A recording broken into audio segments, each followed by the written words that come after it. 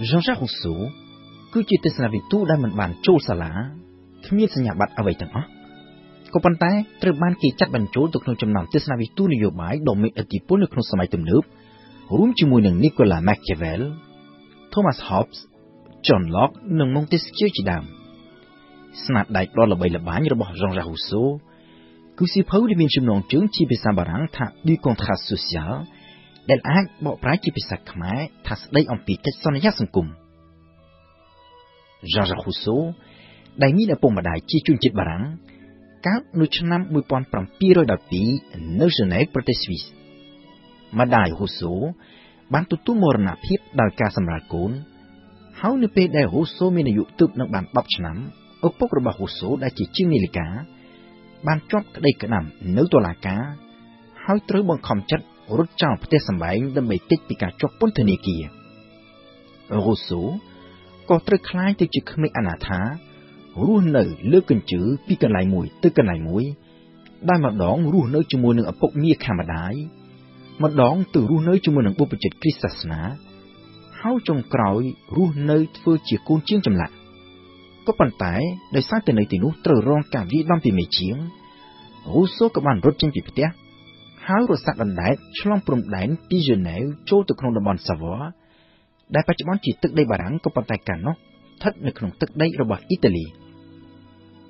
នៅតំបន់សាវ៉ានេះ Jean-Jacques Rousseau ត្រូវបានស្ត្រីមេម៉ាយស្ដុកម្នាក់ឈ្មោះថាលោកស្រី De Valence យកទៅចិញ្ចឹមហើយផ្ចង់ផ្ដើមឲ្យបានរៀនសូត្រខាងដូតន្ត្រីក៏ប៉ុន្តែនៅក្នុងពេលរស់នៅជាមួយនឹងលោកស្រី De Valence ជាង10ឆ្នាំនោះ Rousseau ក៏បានចំណាយពេលយ៉ាងច្រើនផងដែរក្នុងការអានសៀវភៅផ្នែកទស្សនវិជ្ជានៅឆ្នាំ1742 Jean-Jacques Rousseau ដែលមានអាយុ30ឆ្នាំបានចាក់ចេញពីផ្ទះលោកស្រី De Valence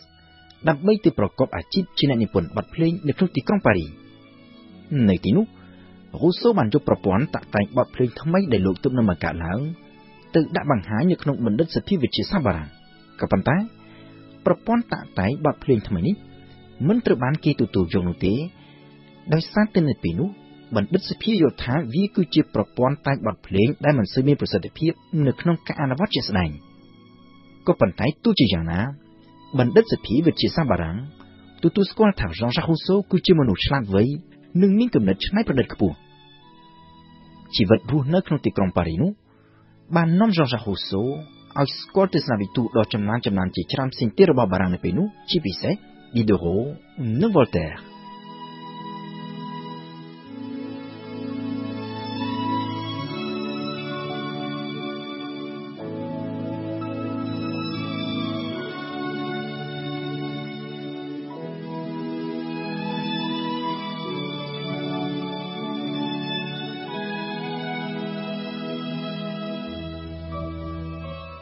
ឆ្នាំ1750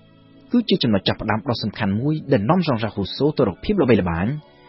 ហើយមិនមែនល្បីល្បាញខាងដូតន្ត្រីដែលជាជំនាញរបស់លោកនោះទេក៏ប៉ុន្តែល្បីល្បាញខាងផ្នែកទស្សនវិជ្ជាទៅវិញនៅឆ្នាំនោះ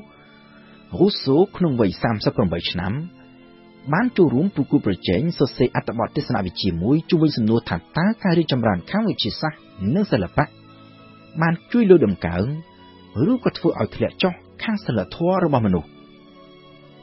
នៅក្នុងអត្ថបទដែលមានចំណងជើងជាភាសាបារាំងថា Discours sur les sciences et les arts រូសូបានសរសេររៀបរាប់អំពីតលហេកជាច្រើនដើម្បីការពារនៅគោលគំនិតរបស់លោកដែលថាការរីកចម្រើនខាងផ្នែកវិទ្យាសាស្ត្រនិងសិល្បៈវាមិនបានជួយលើកដំកើងខាងសិលធម៌របស់មនុស្សនោះទេផ្ទុយទៅវិញវាគឺជាកត្តាដែលជំរុញឲ្យសិលធម៌មានការធ្លាក់ចុះទៅវិញ។អត្ថបទរបស់ហ៊ូសូបានទទួលពានរង្វាន់លេខ1ហើយគេឈ្មោះរបស់លោក ក៏ចាប់ផ្ដើមមានភាពល្បីល្បាញ4ឆ្នាំក្រោយមកហ៊ូសូបានចូលរួមប្រគល់ប្រជែងសរសេរអត្ថបទថ្មីមួយទៀតដោយលើកនេះសរសេរអំពីប្រភពនិងមូលដ្ឋាន ដែលបង្កើតឲ្យមានវិសមភាពរវាងមនុស្សស្នាដៃថ្មីនេះក៏ទទួលបាននូវភាពល្បីល្បាញដោយការពីស្នាដៃទី1ដែរក៏ប៉ុន្តែក្នុងពេលជាមួយគ្នានោះទស្សនៈគំនិតរបស់ហ៊ូសូក៏ទទួលរងនឹងការរិះគន់យ៉ាងច្រើនផងដែរជាពិសេស ពីសំណាក់បញ្ញវន្តល្បីៗនៅពេលនោះរួមមានដូចជា Diderot និង Voltaire ជាដើមដែលជាអ្នកមានតំណែងតំណងរាប់អានគ្នាជាមួយនឹងហ៊ូសូទស្សនៈផ្ទុយគ្នានិងការរិះគន់គ្នាទៅវិញទៅមកបានធ្វើឲ្យទំនាក់ទំនងនេះត្រូវកាត់ផ្តាច់ហើយជាពិសេស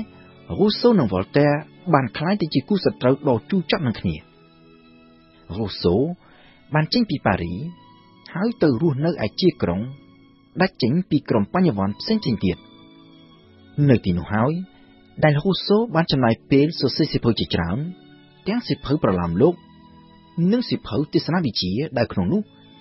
ស្នាដៃដែលល្បីល្បាញជាងគេគឺសៀវភៅទស្សនវិជ្ជាស្ដីពីកិច្ចសន្យាសង្គមឬតាមភាសាបារាំងថា Le Contrat Social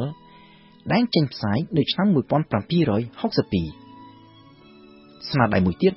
ដែលហ៊ូសូចេញផ្សាយនៅឆ្នាំជាមួយគ្នាហើយដែលជាស្នាដៃដ៏ល្បីល្បាញមួយដែរនោះ គឺសៀវភៅស្ដីអំពីរបៀបអប់រំមនុស្សដែលមានចំណងជើងជាភាសាបារាំងថា Emile ou de l'éducation សៀវភៅអស់ទាំងនេះត្រូវទទួលរងនឹងការថ្កោលទោសទាំងពីសំណាក់វិហារកាតូលិកនិងពីសំណាក់អាជ្ញាធរបារាំងដោយប្រឈមមុខនឹងការធ្វើទុកបុកម្នេញពីសំណាក់អាជ្ញាធរ Jean-Jacques Rousseau ក៏បានចេញពីបារាំងហើយទៅរស់នៅនិរទេសខ្លួនពីប្រទេសមួយទៅប្រទេសមួយដល់ដំបូងរត់ទៅហ្សឺណែវដែលជាកន្លែងកំណើត ក៏ប៉ុន្តែនៅទីនោះហ៊ូសូក៏មិនត្រូវបានគេទទួលស្វាគមន៍នោះដែរហើយដូច្នេះហើយបានជាហ៊ូសូត្រូវបង្ខំចិត្តចេញពីហ្សឺណែវទៅអាល្លឺម៉ង់និងបន្តមកទៀតទៅអង់គ្លេសនៅអង់គ្លេសនោះហ៊ូសូក៏រស់នៅមិនបានយូរប៉ុន្មាននោះដែរគឺនៅបានតែប្រហែលជាមួយឆ្នាំប៉ុណ្ណោះ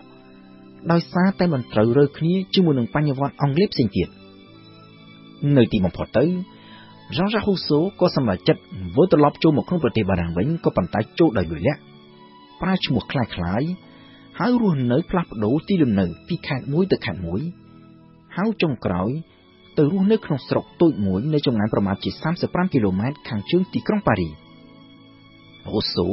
បានចំណាយពេលប្រមាណឆ្នាំចុងក្រោយនៃជីវិតរបស់លោកសរសេរអំពីប្រវត្តិរូបផ្ទាល់ខ្លួនរបស់លោកជាពិសេសគឺសរសេរដើម្បីបកស្រាយតបតទៅនឹងអ្នកដែលរិះគន់រូបលោក ក៏ប៉ុន្តែសៀវភៅទាំងនេះមិនត្រូវបានបោះពុម្ពផ្សាយភ្លាមភ្លាមនោះទេរហូតតតែក្រោយពេលដែលលោកទទួលមរណភាពទើបសៀវភៅទាំងនេះត្រូវបានគេយកទៅបោះពុម្ពផ្សាយ Jean-Jacques Rousseau ធ្លាក់ខ្លួនជឿធ្ងន់ដោយដាច់សរសៃឈាមក្នុងខួរក្បាលហើយទទួលមរណភាពនៅឆ្នាំ1778ក្នុងវ័យ66ឆ្នាំ